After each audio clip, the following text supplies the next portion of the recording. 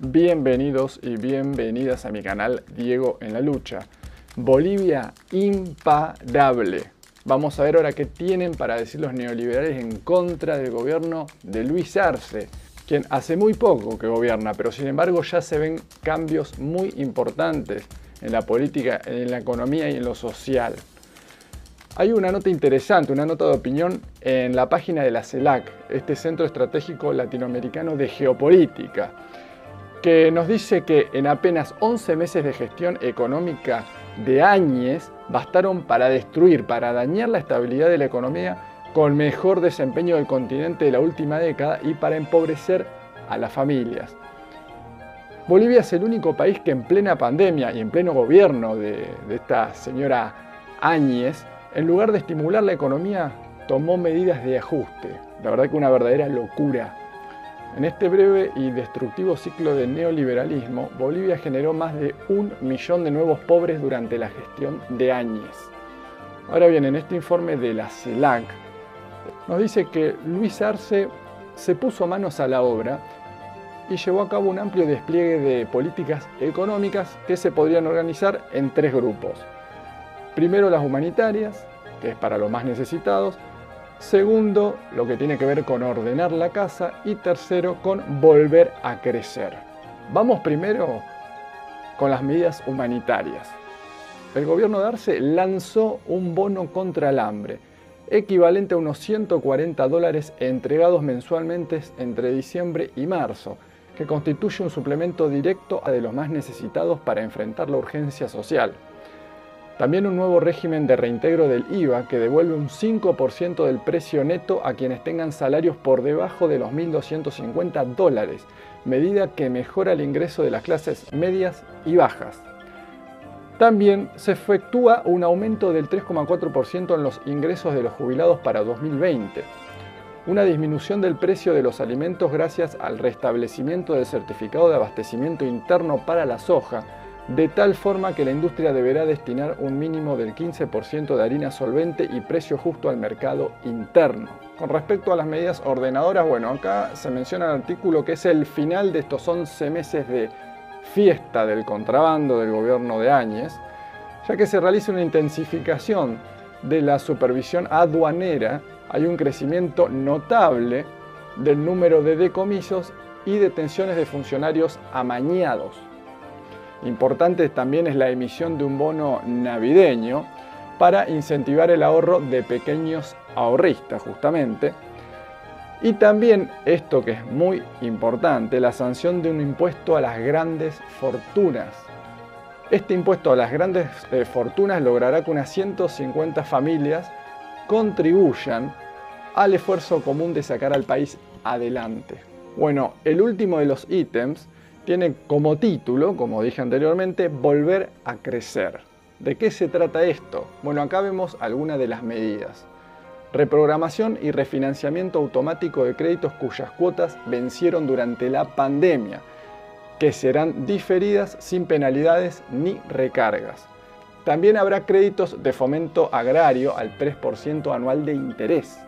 También hay una reactivación en la construcción del tren metropolitano Cochabambino, y esto necesita más de 17 millones de dólares de inversión. Otro ítem es eh, destinar 130 millones de dólares a créditos para reactivar la industria nacional al 5% de interés y hasta 10 años de plazo, con el principal propósito de sustituir importaciones de bienes finales e intermedios. Como ustedes saben, también dentro de este gobierno de facto de Áñez se congelaron muchos proyectos que tienen que ver con el crecimiento eh, nacional de Bolivia. Y justamente uno de los puntos es la reactivación de plantas y proyectos productivos paralizados, en particular la industria del litio y la planta de Uria, paralizados por problemas técnicos sospechosos de haber sido plantados para facilitar la apropiación privada a precio de saldo. Bueno, como ven, con distintas medidas el presidente Luis Arce está logrando la reactivación de la economía boliviana, como bien dice el artículo, una economía que venía muy próspera hasta el golpe de, hasta el golpe de Estado que se le dio a Evo Morales. que por suerte pudo revertirse esta situación, golpe de Estado en donde las multinacionales tienen mucho que ver porque por supuesto quieren el litio boliviano. Sabemos que Bolivia es el primer país con las reservas más grandes de litio. Luis Arce, recordemos que no solo es presidente, el cargo político de presidente, sino que él es economista, lo cual es un doble beneficio para el país hermano de Bolivia. Por supuesto, uno de mis temores personales es que haya nuevos intentos golpistas. Y como ven, Bolivia sigue siendo un ejemplo de querer prosperar, de querer industrializarse, de querer eh, terminar de consolidar una soberanía política, económica, una soberanía eh, productiva de industria nacional. Y para esto es más que importante tener a un pueblo consciente. Las elecciones que ganó Luis Arce fueron por más de 30 puntos al segundo contrincante, así que tenemos un más muy consolidado en el poder, que evidentemente apenas tomó las riendas del país, empezó a modificar todo lo nefasto que había realizado esta dictadora Áñez, por supuesto con, con el visto bueno del imperialismo norteamericano, con el visto bueno de ciertas facciones de las Fuerzas Armadas y con el visto bueno en general de la oligarquía eh, boliviana, por supuesto, que siempre eh, la, oligarquía eh, latinoamericana en general es principal protagonista en estos golpes de Estado o intentos golpistas, no solo en Bolivia, sino en los distintos países a lo largo y a lo ancho de nuestro continente y querido continente latinoamericano, que espero, más temprano que tarde, se consolide en una gran patria grande en donde todos podamos beneficiarnos mutuamente y ganar y ganar entre países.